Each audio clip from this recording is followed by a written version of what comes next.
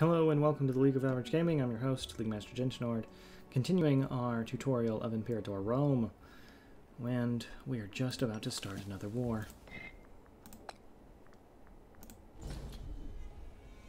Oh, wait. This is the first we've seen of this. Declare war using war goal. Forcing this through the Senate will increase tyranny by 5. So apparently, this is not liked. This is, and no one likes this going through. Where can I see the Senate's view of this? So I see all of the allies approving to bring in people, but I don't see where they say so by themselves. So the mercantile faction is in charge. Well, it looks like there's a lot of military people in charge.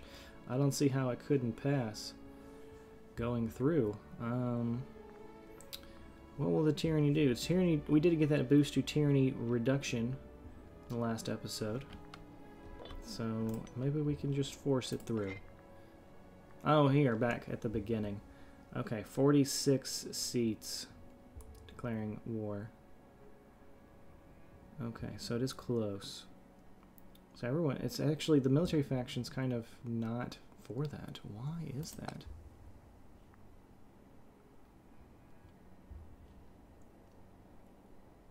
Because we're already at war. Is the lack of support.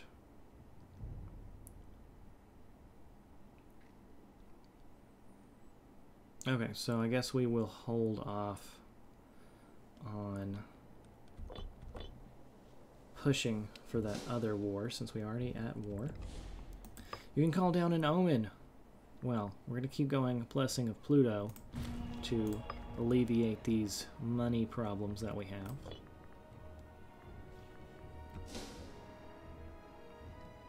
So maybe when we aren't in so many wars at the same time, we'll be able to proceed. A new invention. Let us take Advanced Wall Construction, Civic Tech Investment plus 5%.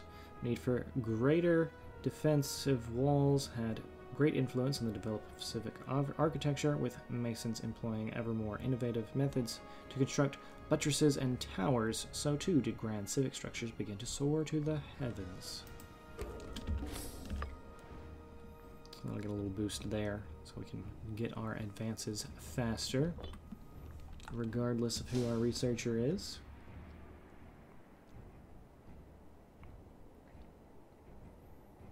Oh, which siege will finish first? 21 versus 28. Up to 28 and 35 now. There we go. Actually, no. That's a completely different event. 35 all right now. As many of the more veteran members of our blessed political institution know, youth is a wonderful state of joy, experience, and most importantly, gullibility. Gnaeus Decius has recently emerged, fresh face onto the political scene, espousing the rhetoric of the religious faction. Like vultures to a corpse, those desperate to sway Gnaeus to their cause have descended, each using their cunning to try and recruit him. Perhaps it behooves our council to step in and show Gnaeus the true path. Hmm. We shouldn't interfere. He'll gain 60 conviction for populist faction. That's, I don't want to use my oratory power for that. I'm using that to get claims.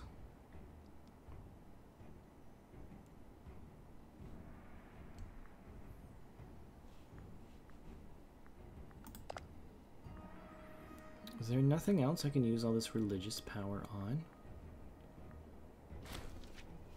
Hey, a siege is won. Huzzah. Looks like actually all of the sieges are won. Because everything's taken care of. Great. Okay, take over all of this stuff. Looks good to me.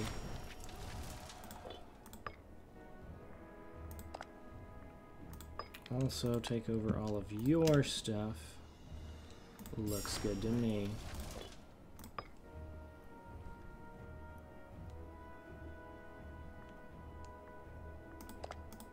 I guess that can get converted to money. You can convert... No, they took that out, actually. You can convert money to points. You cannot convert points to money. So, that is a little different. We could swap out how we're paying for things. So we could get more taxes or more commerce and whatnot. Have weaker morale of armies or navies. What is our navy? Our navy's not very expensive right now. Fort maintenance is fairly high. No, I think everything's fine. The base level, just because we have so much money. We'll probably mess with that later on. So, do you guys approve of us going to war now? Yes. There are seats behind it. Declare war. We'll roll on in. Like it's nothing.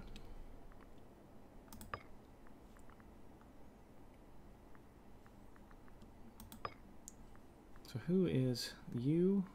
You're a general. How are you scorned? Seems like a good job to have. Expect to be paid 2% of the state's income.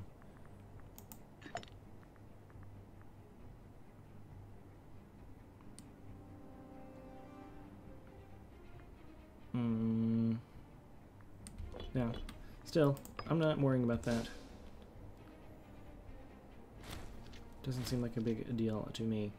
Of course we're victorious. We are Rome. We've been given a gift from the Latin local power of Apulia. Well, thank you for that gracious gift. Are you in a war? You're in a civil war. Well, will you look at that?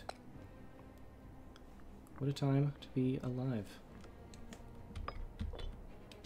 Well, they do have a fair number of troops right there.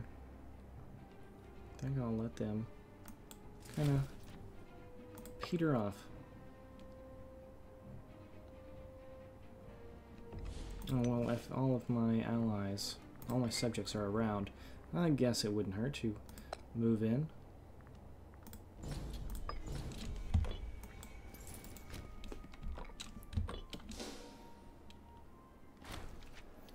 Quintus Fabius Gurges, for reasons known only to himself, has begun voicing his opinion in support of Lucius Postumius Megellus whenever the Senate assembles. Such sycophantic actions may be tiresome, but a voice for is better than a voice against.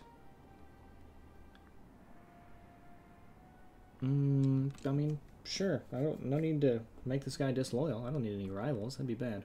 We shall put up with it. Blockaded ports. Oh, someone actually has some boats for once. Let's go fight them. Afford a new invention.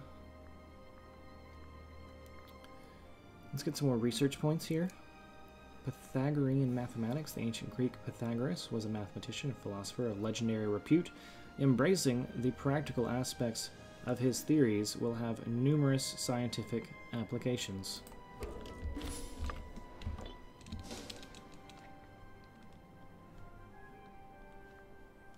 His boats are actually going to run off. So, I'm not sure what that penalty was, but it is good to see that there is, in fact, a benefit to blockading ports. I don't see a benefit for us, but they must get a negative, because otherwise we wouldn't have had a flag up there. Or maybe it was just, hey, go fight. You can fight. Did you know you could fight?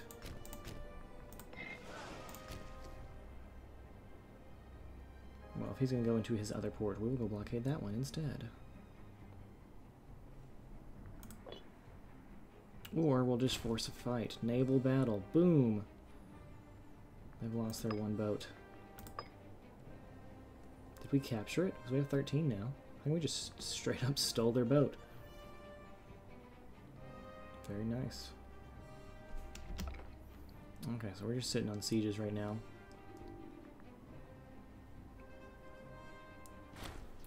Gnaeus falls ill. Gnaeus Flavius has sent word that he's fallen ill. Perhaps if he is wealthy enough, he'll seek treatment of his own volition. Otherwise, we could always step in if his condition worsens. Interesting.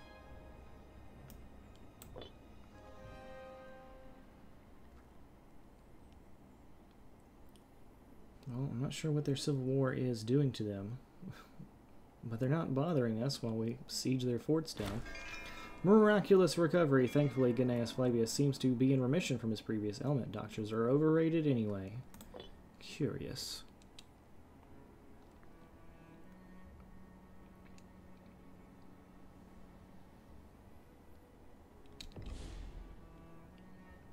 Oh yeah, if you guys think you can win the battle, feel free. I have other wars to wrap up.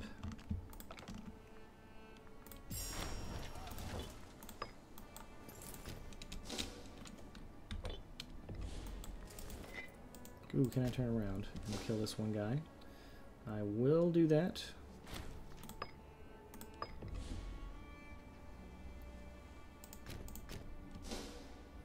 I need to let them run around with new troops. Conflict of the orders, in spite of the rights granted to plebeians since the last session in 411, tension between the patricians and plebeian classes of Rome has been growing lately, partly influenced by the work of Gnaeus Flavius, among others. None of our concessions have dampened the plebeians' determination to secure political and legal equality. However, a new political class made up of both patricians and plebeians has been growing, incorporating the middle income families of the Republic. We must decide whether to promote the expansion of this new nobilitas as a middle ground or give in to the populist demands for reform.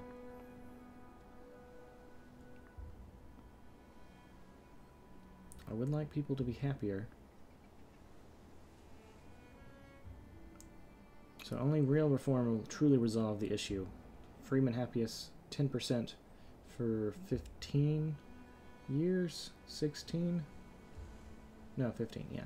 Populist faction influence plus 0.25. Rome institutes Lex Hortensia, national unrest minus 1. National freeman happiness plus 2.5. Plebeians will be upset if this integration law is changed before the conflict is resolved. Okay, well, there.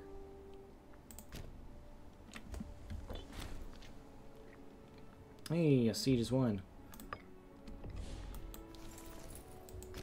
Looks like our allies are having some problems fighting these battles. Not to worry. We will assist him. It'll be our pleasure. we roll up and our guy stood straight up. No, Rome will win. You cannot harm me. I won't even fight you now. Silly animations. Okay, yes. Victory is ours. Let's go siege his remaining province. Oh. I guess you'll do it. That works for me.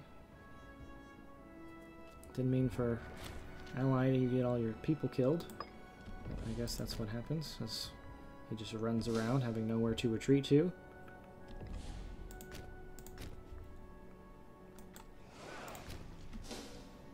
And we'll continue to work on the ally.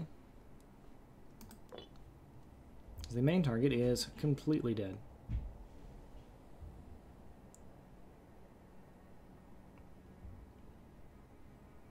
And then we can go down back towards Syracuse and into Sicily. Oh, we don't even need all of Sicily, it looks like. Expansion of the tribe. Since Romulus founded our great city, its citizens have been divided into the tribes. Originally, it was an ethnic distinction, but since the Republic was formed, the tribes have been divisions of eligible citizens whose local consensus is, to submit, is submitted as a vote in the tribal assembly in Rome. The number of tribes has fluctuated throughout our history, beginning with merely three. There are now over 30 added or redrawn as our state has grown. New tribes are formed as our citizen population rises to better represent the opinions of the whole republic. There have lately been calls to create two more tribes to be named Anisus and Tarentina to ensure votes are fairly distributed. This should please the provinces. Yeah, I, I don't see why I would do things that make people unhappy. Yeah. Give me that provincial loyalty plus 0.05 and local population growth 0.25. One for five years, one for 20 years. Very nice. Inventions, yes. Get more inventions. Grain rations. National population growth plus 0.05%. Handing out portions of free grain to those who require it keeps the wheels of our civilization turning. If we have more people, we might could make some more money. So let's do that. So I'd like to full annex both of these people.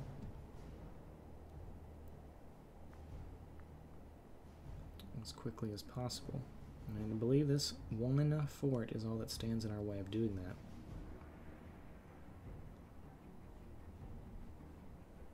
Yeah, we just have to conquer Syracuse. We don't actually need that other stuff. So, you fabricate claim on your thing. Tongue-tied. Addressing the good people of Rome this morning on a matter of little importance, Publius Cornelius Barbatus found himself completely lost for words. If Consul Lucius were to intervene, we would surely earn the undying gratitude of Publius. However, such a public display of bipartisan camaraderie would likely cause concern. No, we'll just enjoy the show, and he will lose lots of popularity, and that'll suck to be him. Another invention, Supernumerii. Supply limit plus 10%. An auxiliary group of enlisted men, the Supernumerii, acted as reinforcements, orderlies, and performed other non-specific duties. Should help in people getting murdered, just standing places, the attrition.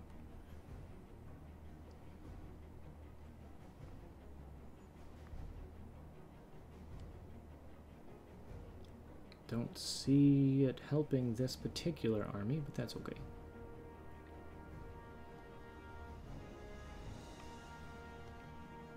Come on, 42%.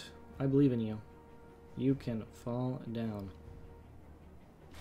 There we go. Just had to will it to fall. And it would fall. 20,000 men.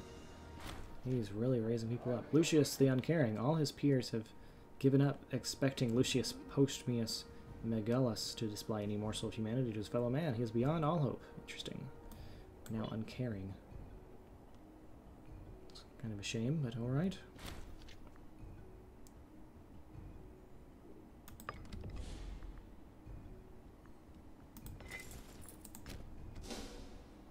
Make sure his army is thoroughly wiped, yes.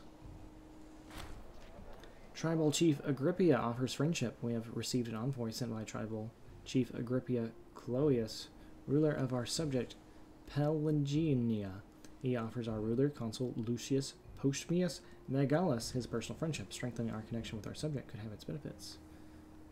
Um, yeah, this could be useful. We'll be his friend. Everyone likes having friends, right? Super pace. First, the subject. Not the subject, the ally. Take all of his stuff.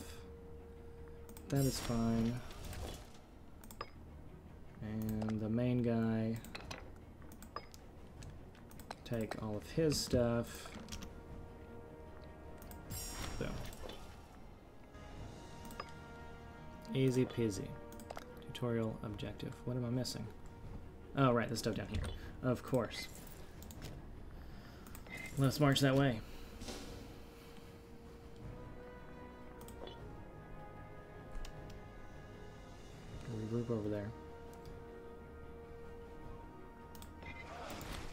Move our boats to the strait. Shipwrecked. One of Rome's most renowned merchant traders, Lucius Volumnius Violens, has appeared before our Senate in tears. He tells of a huge shipment of exotic fruits which sank beneath the rolling waves on a journey from Neapolis to Serapis. He beseeches us to recover at least some of the losses in order to preserve the reputation of Roman trade throughout the world. How awful we should help? There are more pressing concerns. I have to buy up his failing trade empire.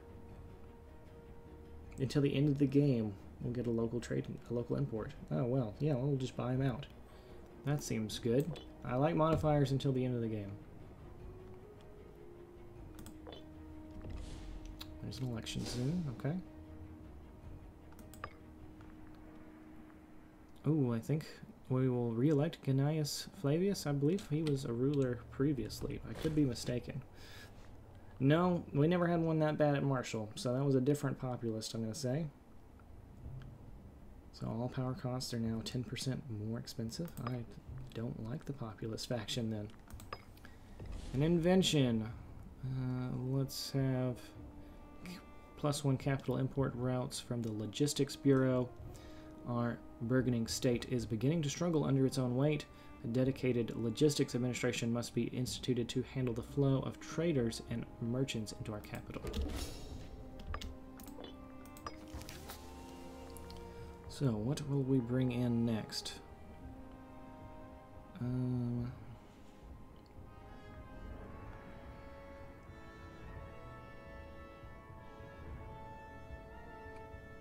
perhaps some fish? No, we already import fish.